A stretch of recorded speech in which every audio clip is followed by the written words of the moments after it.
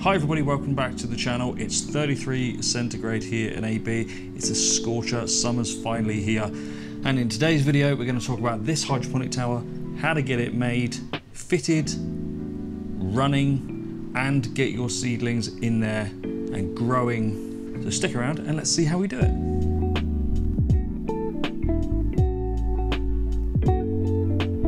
So yeah, we've got blazing sun right now, first week of July. It's not without its problems though, because this is what it was like seven days ago.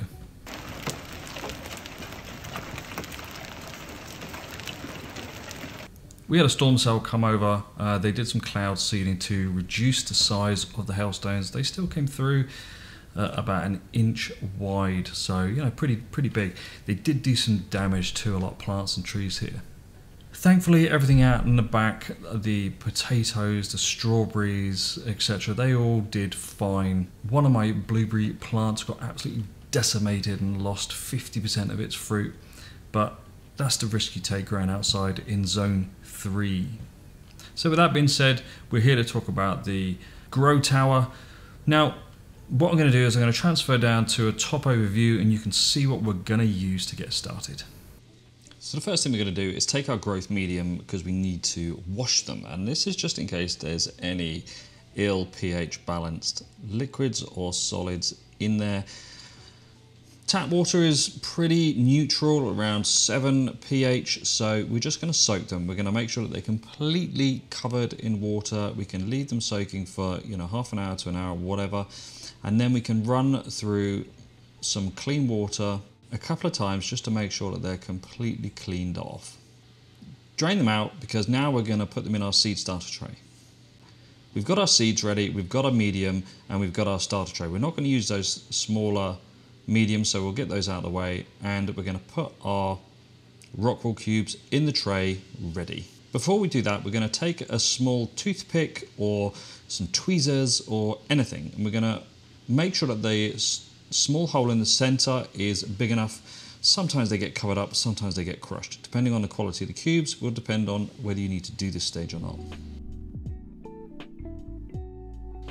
We don't need these net pots here, so let's move those out of the way. Now we're going to put our seeds in our growth medium. I've just got two different types of lettuce here, romaine and red lettuce. And I'm going to put some of the seeds out in my hand. This is just the way I find it easier to do. I got hands like farmer, so it's you know a little bit easier for me than trying to fish out one seed at a time. So pour some in your hand and then use a small fine pair of tweezers to take one to two seeds and put them in the grow cubes. Putting two seeds in will kind of almost guarantee germination. Germination is different for every seed, but by putting two seeds in, you're pretty much guaranteed that one of them will take.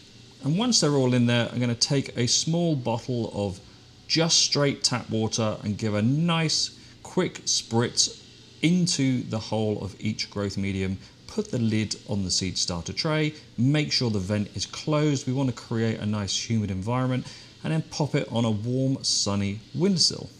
What we've got here is some that have been on this windowsill for two to three weeks and as you can see they're really nice, tall and got a really decent root structure going already. So we're going to get these straight in.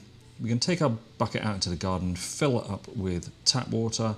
Before we go any further, we're going to test our water pump, working nicely. This is without any pipe on and it's just creating a nice bubble on the surface so you can see kind of the power required here by this little pump. Next thing we're going to do is start to assemble our grow tower. So we've printed all the parts. This is the adapter plate with the bolts. Uh, apologies for those that couldn't find the bolts before. These are now uploaded to my printables account. I'll put a link in the description below so make sure you can find all these parts. And I'm going to mark out the spaces. I'm going to use six bolts here. So I've marked out six evenly spaced positions and I'm going to pre-drill those and then open them out with a staggered bit. You can use a spade bit, whatever it is you like. It's a 3 8 inch hole required and then I'm going to check that all those bolts fit and then mark the positions on our lid and get those drilled out as well. Then it's time to actually put the lid onto the bucket. Use those plastic bolts nice and tight, make sure it's all completely fitted And then we're going to fit our 3 8 inch tube onto the pump outlet.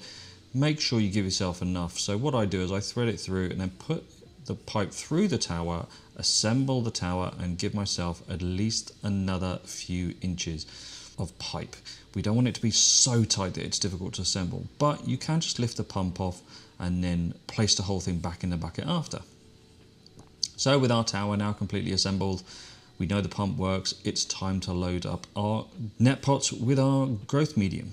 And here I'm just taking a pair of tweezers, I'm just gently teasing them out and putting those in there, making sure the roots go right down into the hydroponic tower and rinse and repeat for all the available spaces or however many seedlings you're starting with. And with the hydroponic tower then ready to go, we can plug it into our timer. You can see the water there inside that opened gap running nicely.